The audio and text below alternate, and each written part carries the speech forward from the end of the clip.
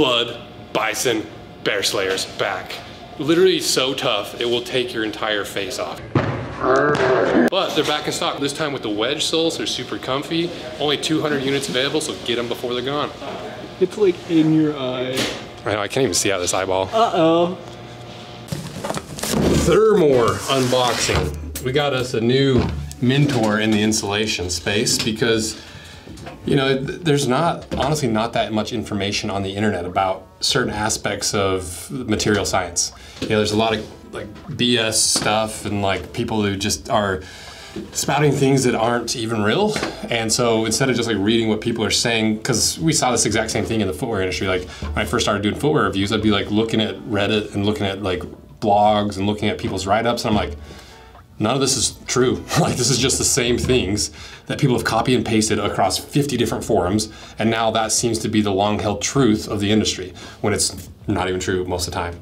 And so Thermore is going to be our consultants for insulation, so we can really start to understand it, know how to test it, know what to look for, instead of just shooting in the dark Shot in the, yeah, shooting in the dark, that kind of works. So who is Thermore? Well, they were founded in 1972 in Italy. That's, so it's over 50 years of expertise and experience. They were a pioneer in the synthetic insulation and outdoor wear. They were the first to launch a sustainable insulation in the 1980s. Today, they're 100% of the classic product line is made with recycled PET bottles. And, and maybe the thing they're most known for is the Thermore Eco Down, which is a, a, a down alternative that's made of completely made out of bottles, which is wild. And Thermore insulation is used in brands like Stio, Karbon, and other technical and lifestyle outdoor brands. So, what do we have in here? And what is insulation? How does it work? What are some quick pros and cons that we can start doing some introductory information? First, gotta unbox it with the Christy knife, I love this knife. I like that every time I come back every week, it's just a little bit more patinaed, a little bit more of that dirt and grime and oil in my hands, slowly turning it into beautifully, beautifully patinaed brass knife. I'll put a link below if you want one. It's a US company, four generations. I can't see. So what do we have first? Up first is this is a Stio out of Jackson Hole, Wyoming. Um, let's see what this is. It's a midweight everyday insulated jacket. Uh, sustainable warmth for everyday life, lifestyle and travel. Just give it a little try on.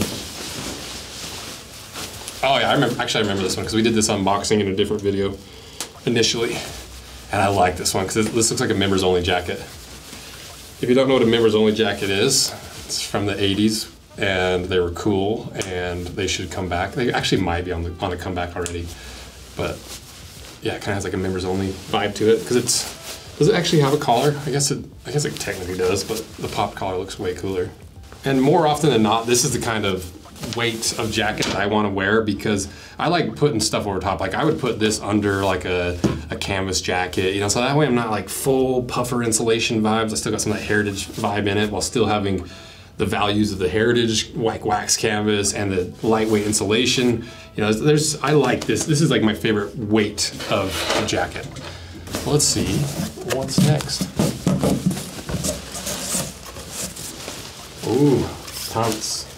Karbon, Karbon pants. Okay, carbon black pants. Brand is Karbon. These are insulated snow pants. Durable ski-ready gear from, with Thermore insulation.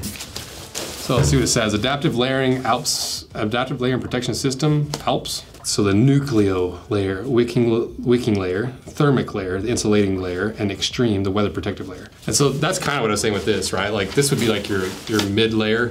Like your base layer is to pull the moisture off your body. And that's why a lot of times it's like that skin tight, like, uh, whatever they call them, like leggings for your whole body. Your mid layer is, is more your lightweight insulation, or you can adjust how much insulation you want. But if you were just in this, a lot of times these mid layers don't have the same protection as these more outer layers, like they call it extreme. Um, that's where you have like the really heavy water and rain and wind insulation, uh, protective in layers. You've got the really heavy like shearling around the head. So you have some, uh, you know, it's like, and so it seems like both of these layers are mid layers. Is how I'd use them anyway. Okay, next. That's it. This is another Karbon, Sure Sports Incorporated, Toronto. So this is uh, the technical synthetic puffer performance layer for alpine or winter sports. The thing I like about this one is I really like the way that they've done the what do you even call this? Like the encapsulating of the of the insulation or the uh, quilting. I think that probably is. That's why we have. That's why I have mentors. So that they watch this video like you got all that wrong. Here's the right terminology.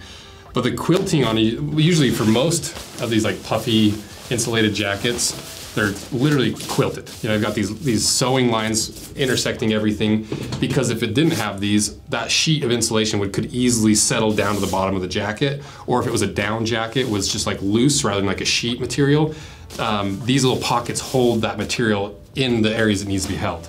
And so this one's cool because it's similar concept, but instead of sewing going through it, it looks like it's heat seamed or heat sealed where they they seal the two layers together, or I guess probably three layers, by heat bonding them. And so it still holds that insulation where it needs to be. It's not going to settle, and yet you don't have a bunch of holes perforating your your layers. So if this was like a water resistant layer, this heat sealing wouldn't uh, this heat sealing wouldn't compromise it like maybe some sewing would do.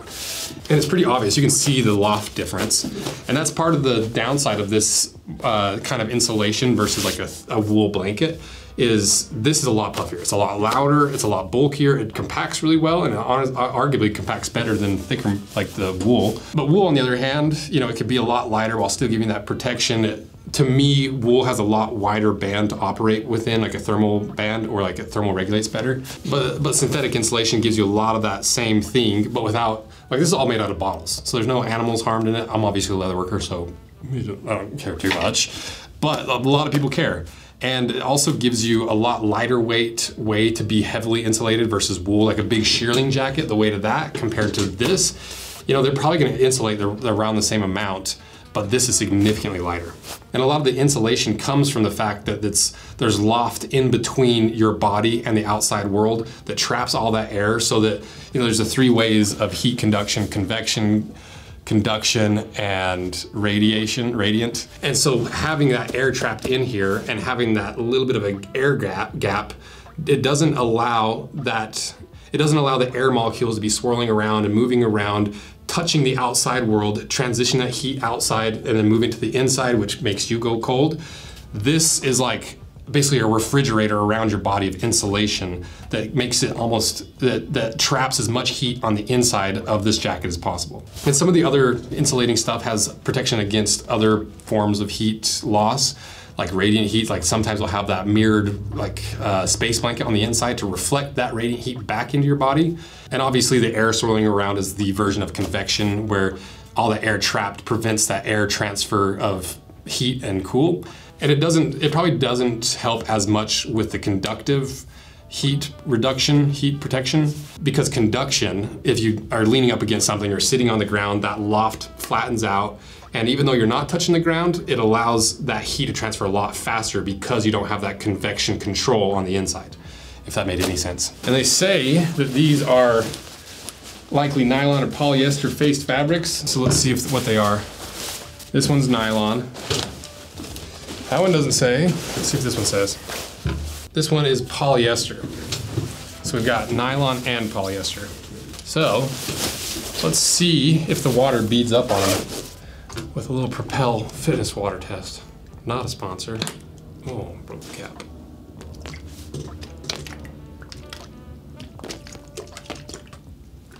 It's sugar free, it won't get sticky. Okay, looks like the, it beads up the moisture or the water pretty well on both of them. You can see in these seams, it does hold on to that water, like I was saying, where this one doesn't because there's no hard seams. So let's let that sit for a sec and see what happens. While that's happening, let's just see how much we can get this to pack down, because that's, that's one of those benefits I was talking about, where you could get a shearling pair of pants that's gonna be just as warm, but you're never gonna pack it down to the size of a softball. Because that's, you know, roughly the size of a large softball. Yeah, that's, that's pretty, that's pretty good. How's the water looking? Well, this one absorbed in. So this one does not have a water resistant uh, material on top. So you can see where all that started to absorb in. And as I like sweep it across, you can see it absorbing in more. So this one is not water resistant. This one seems like it is because you can see when I even when I spread it out, those little teeny, uh, smells good, it smells like grape. So I think this one's water resistant. I don't think this one is. So this, this one, if you got wet, it, that water would get into the insulation and kill the insulating factor. So that's why it's important to know which ones are water resistant, which ones are not. If you need an outer layer, if, if this is if you're not taking it out in a rainstorm, maybe it's fine. But those are some of the things to consider. They say that it's a safe synthetic fabric that doesn't melt or drip. Well, that's fine. Ow, I don't want to burn the one I want to wear. Keeping this one. Let's try the Karbon. We'll try it down here on the inside. About right there. It's the same material. It says does not drip or melt easily. Let's find out.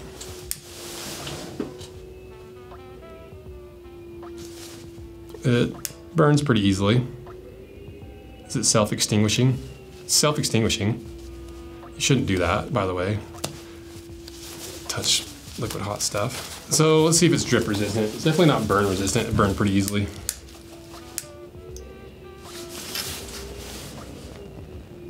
That doesn't seem very fire resistant. It's not dripping though. I think. Ah!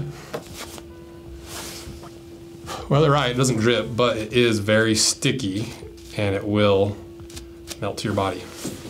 What about a seam test? Should we try ripping the seam and see what happens? How about just this first seam here? It's pretty strong. How about the zipper? That didn't, that's not that strong. How about, what if we just try, what if we just try tearing one of these seams apart? See how strong this is.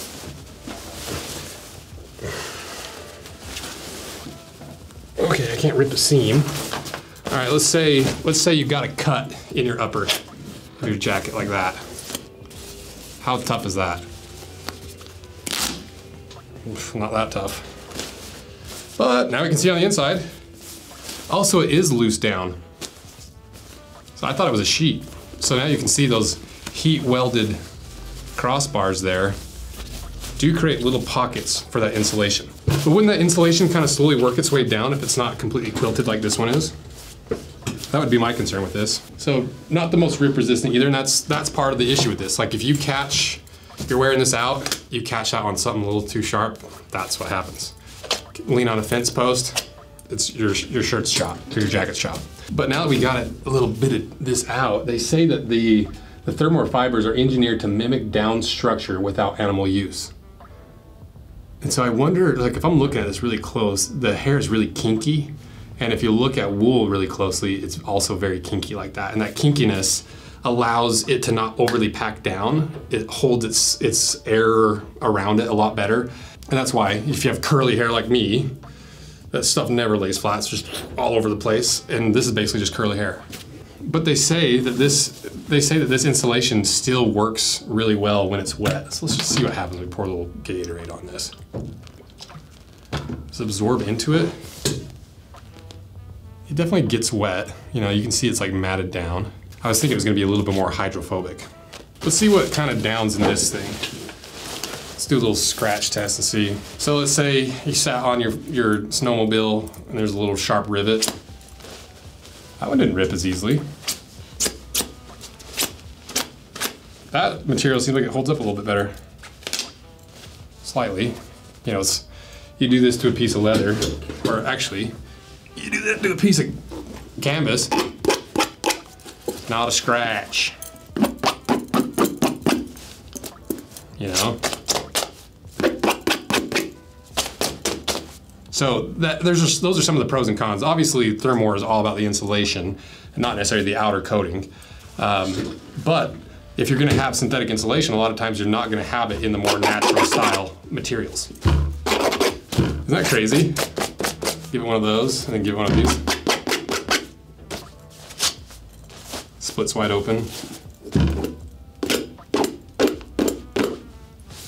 Nothing. Sock eaters, by the way.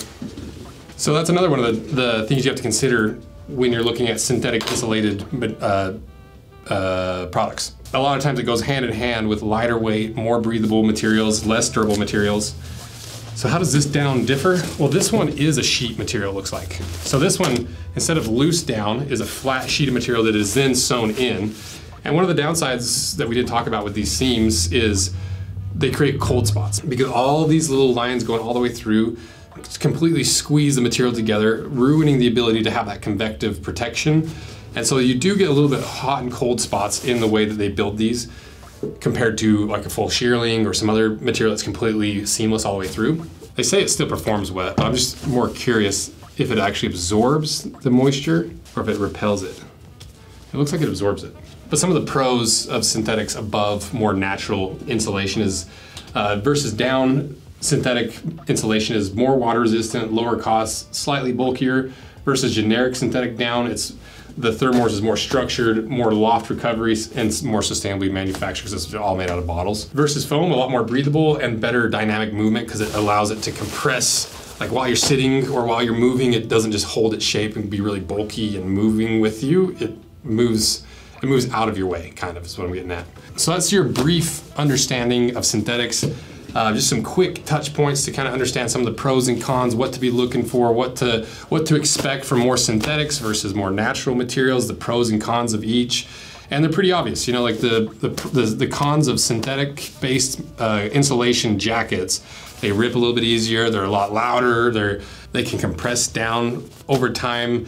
It's the even if the insulation is high quality, sometimes the outer material is not the same kind of quality you'd expect or that you'd want. Versus more natural with shearling, it's a lot heavier. It's it's uh, it does come from an animal where a lot of people don't like that. It doesn't pack down nearly as much as these jackets pack down, and all the pros that we've gone over as well. Like this this is a lot more lightweight, a lot more packable. You can have a lot varying, a lot different bands to work within. If you want something really lightweight or like medium lightweight like this to medium heavyweight like this to pants underneath that's a lot harder to do in shearling and more natural insulations even with with sheet wool or like blanket wool. And so there's pros and cons to both. And so this is this is just your entry level basic information to get the ball rolling. So let me know what other stuff you want us to test, how you want us to test this, what, what we should be looking at to start rounding out our understanding of material science when it comes to synthetic insulation versus natural insulation. And again, huge thanks to Thermore for sending us a couple Karbon pieces to look at and a Stio piece